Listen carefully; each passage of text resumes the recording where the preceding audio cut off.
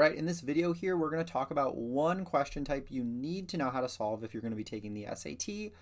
And it almost always shows up as one of the hardest questions on the calculator section, which are going to be 29 and 30 for your multiple choice ones. And what you can see is I've grabbed some examples from the last two years of the test, is it's a really similar question time and time again. So once you understand how to approach this, it's going to be something that you can keep in your back pocket and you're going to be really comfortable handling when you see it on test day. This is percent increases and decreases. So as always, if you want to go ahead, you can pause the video, take a shot at 29 here, but we're going to jump on over, run through a little lesson, then we're going to come back to these, and hopefully you guys are all going to understand exactly how to approach these. Now, as always, if this video helps you out, please like, subscribe, share with any of your friends, but let's jump right into percent increase and decrease. All right, so for percent increase, decrease shows up really all the time for those late questions. So this is a basic way we can set this up, but we're going to talk about a little bit more of a shorthand way that I always teach my students because this really helps it click a lot better for those difficult question types. So we're going to kind of just go through this first example here. Jarvis Construction Company is building a new exit ramp for the local highway. The company initially said the project would take 250 days, but a forecast for bad winter weather led the company to estimate that the project is going to take 12% longer to finish. So this is the way you may have been taught back in math class, but the easy conceptual way, which makes so many of these problems click a lot better, is if you're ever doing an increase or a decrease, you're always doing 1 plus or minus the percent expressed as a decimal. Now, if we're applying that percent increase, we're going to be multiplying. If we're undoing it, we're going to be dividing. We'll get to that part in a second here. But since we are applying the percent increase because we know it originally was going to take us 250 days, and it's now going to take 12% longer, we simply can do 250 times 1 plus our percent expressed as a decimal.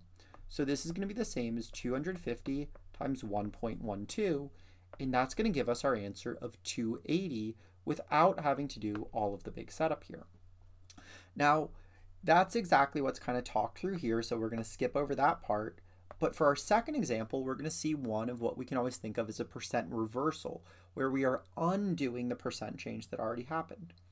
So here we see Tim grew 15% more tons of tomatoes in 2019 than in 2018. So really conceptually all we're thinking about is well 2018's amount times 1.15, right? That's going to be our 1 plus or minus is the percent and since it's 15% more, we're doing 1.15 is going to equal the amount he grew in 2019. But now for all these reversal problems, you're going to be given the amount after the percent has already been applied. So only thing we know here is the amount we grew in 2019. So what we really can think about is now 1.15 times the amount in 2018 is going to equal 23. So now we're simply dividing out the 1.15. The other way we could write this out is because since we knew he grew 15% more in 2019 than in 2018, is what we could say is x is going to equal 2018. We could simply say 1.15 times x is going to equal 23. And so here, same exact thing we did in the kind of more talk through example, we're simply going to be dividing by 1.15 and we can find our original amount. Now, the third really common variety we see is when we have kind of multiple percent increases or decreases in a row. But the same thing we always have to understand for all of these is simply our 1 plus or minus. And this example is usually where it really clicks for a lot of students if they felt a little iffy. So here, the price of a painting decreased by 8% in 2017. So that can be expressed because we always do 1 plus or minus the percent expressed as a decimal. 8% is the same as 0.08. So to start with, we can do 1 minus 0.08. It increased by 25% in 2018. So that part we can express as 1 plus 0.25. And it increased by 40% in 2019. That can be expressed as 1 plus 0.40. So what percent greater is the price of the painting in 2019 than the original piece at the beginning of 2017? Well, we could say P is our original price. You could also put X in here, but we could simply say P times that 1 minus 0.08 is 0.92. That 1 plus 0.25 is 1.25, and that 1 plus 0.4 is 1.4. So we're simply going to multiply all of those values together, and then we're going to get 1.61p. But this is what you always have to remember with these percent increase decrease, which is where the number one mistake for students comes. It's always your one plus or minus is going to tell you how much, when you're applying it, how much you've increased or decreased. But here, if we get our final value, it's the difference away from one, which is going to tell us the amount we increased or decreased. So since we see 1.61, the 0.61 is going to show us how much we increase by, so therefore, that's going to be 61% higher than the price back at the start of 2017. The big framework you're always looking out for is 1 plus or minus. That is what all of these questions kind of come back to. So now we're going to jump back to those examples from these recent SATs. We're going to talk about applying this framework to each of those. All right, so for 29, and this is going to be the trickiest of the examples here. A quantity is decreased by 45% of its value. The resulting value is x. Which expression gives the value of the original quantity in terms of x? Well, to make this a little bit easier, we're just going to say that like our original quantity is going to be y. So what we know is we're decreasing y by 45% of its value, and then it's going to equal x. Well, that's going to be the same as y times 1 minus, right, because this is a decrease, our percent expressed as a decimal, so it's going to be the same as 1 minus 0.45 is going to equal x. Now this is going to give us y times 0.55, that's the same as 1 minus 0.45, is going to equal x. So if we want to solve for this so we can see what the original equation, what our original value is, right, which is y, we're just isolating for that value, we're simply going to be dividing both sides of this equation by 0.55, and that's how we can see that b is our right answer. Now, if this didn't click perfectly, strongly recommend you to kind of go back through this with some values. And we could just say that, well, y equals 100. So if we're decreasing y by 45%, that means that x is going to equal 55. And if you do 55 divided by 0.55, it's going to equal 100. So this is a little bit of a test trick you can use with plugging numbers in to find your original answer. But if we can just conceptually understand the framework, we can really start to make sense of these questions easily.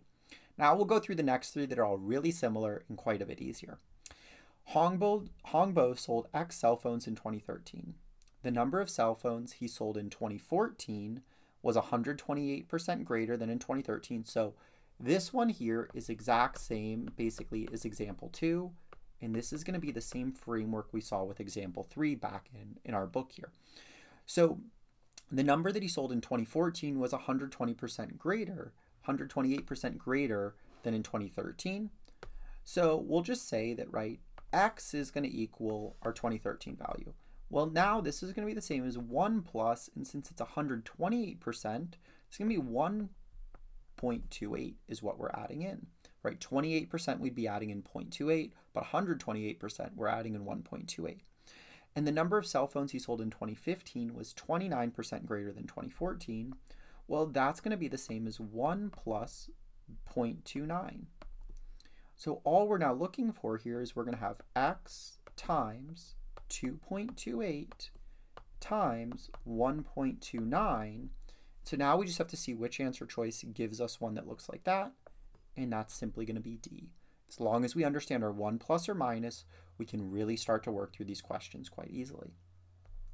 Now we'll take a look at these 29 and 30 from two other tests. The expression 0.7x represents the result of decreasing a positive quantity x by what percent? What we always know, right, it's 1 plus or minus our percent expressed as a decimal. So all we're really looking for here is, well, 1 minus, basically, we'll say y, is going to equal 0.7. This is just, all we're looking for is just the difference between these two. And that's just simply going to give us, we'd have to have 1 minus 0.3 is going to equal 0.7. So that's going to tell us how much we've decreased by. It's simply just going to be 30% because all we're thinking is 1 minus 0.3 equals 0.7. You don't even really have to do all this y stuff. You can keep it extra simple like that. Very similar thing here with question 30. It's literally just the opposite of what they put on this other test.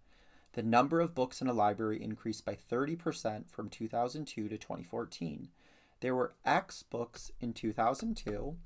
Which expression represents the number of books in 2014 in terms of X? Well, here we're simply doing a 30% increase, so we're simply doing 1 plus 0.3. Well, that's simply going to give us x times 1.3, which is going to give us 1.3x. 30% increase, we're going to see 1.3. 30% decrease, we're going to see 0.7. So hopefully you feel a lot more comfortable with this concept and what this video also kind of shows you is how incredibly consistent the SAT is with what they put on the test. Um, if you have any questions on this, you can always drop that in the comments below. I'd be more than happy to film another video going a little more in depth if anyone feels uncomfortable. Um, but otherwise, as always, if this helps you out, please like, subscribe, share this with some of your friends.